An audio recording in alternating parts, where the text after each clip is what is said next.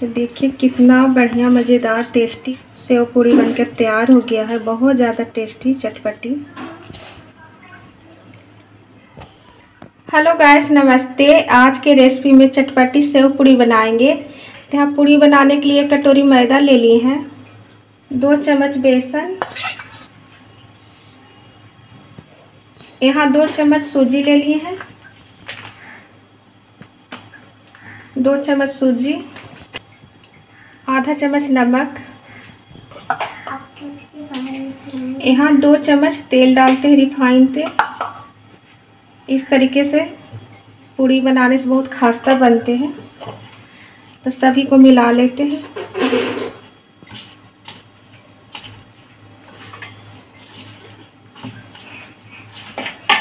सभी को मिला लिए हैं। थोड़ा थोड़ा पानी डालकर डोल लगाते हैं।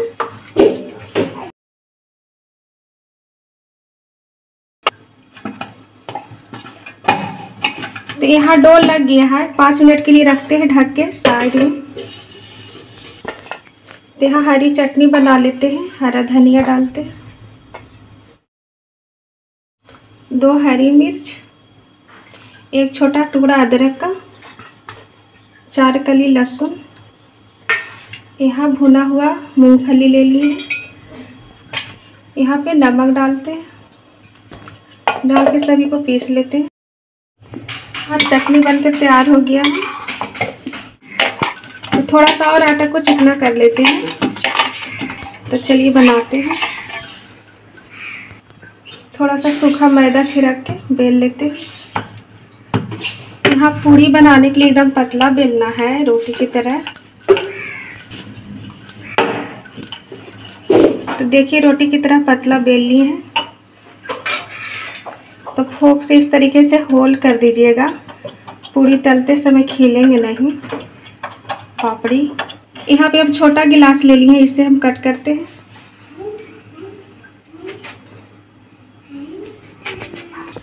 जो एक्स्ट्रा आता है हम निकाल लेते हैं। एक्स्ट्रा आटा निकाल लिए पापड़ी को रखते हैं प्लेट में।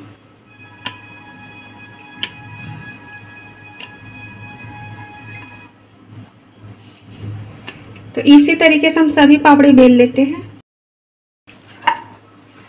तो यहाँ पे पूरी बेल कर तैयार कर लिए हैं।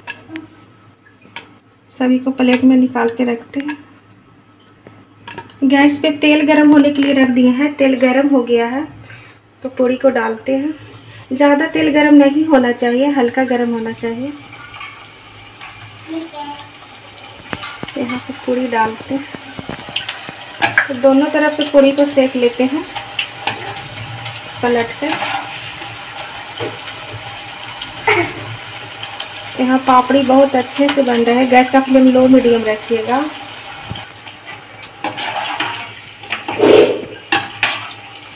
दोनों तरफ़ से पूरी अच्छे से सीख गया है, फ्राई हो गया है तो निकालते हैं। निकाल के रखते हैं प्लेट में।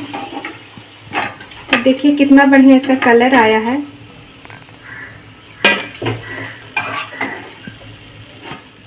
ऐसे सभी पूड़ी को फ्राई कर लेते हैं।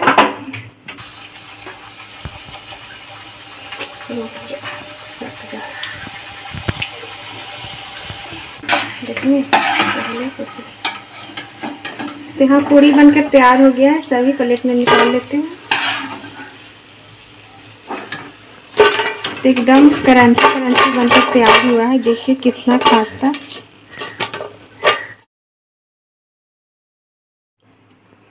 पूरी बनकर तैयार हो गया है तो चलिए प्लेटिंग करते हैं।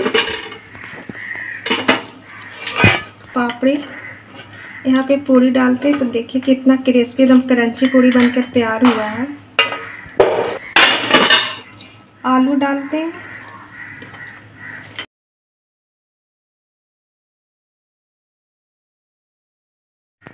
तो यहाँ आलू डाल दिए आलू में चाट मसाला थोड़ा सा, मिर्ची पाउडर डालकर मिला दिए थे, टमाटर। इस तरीके से सेव पूड़ी बनाइएगा ना। बहुत ज़्यादा टेस्टी बनेंगे। बहुत ही आसान तरीका से बन जाता है चटपटी। यहाँ कटा हुआ प्याज।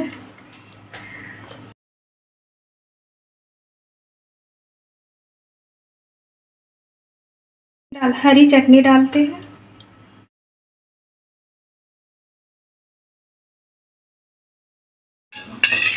तो यहाँ पे इमली की खट्टी मीठी चटनी डालते हैं।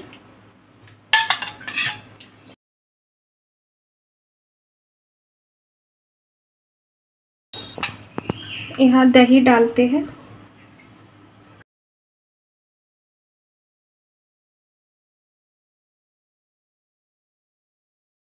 यहाँ सेव डालते हैं।